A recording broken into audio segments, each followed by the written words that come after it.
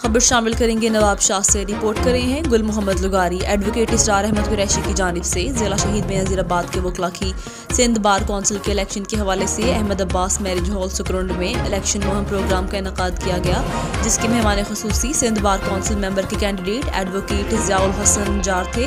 Programme में Pakistan peoples party के मरकजी रहनुमा रईस नूर अहमद लाखो और जिला शहीद बे बेनज़ीराबाद तालुका दौलतपुर और तालुका सुप्रिंट की वकला बरदरी में बड़ी तादाद में खसूसी शिरकत की।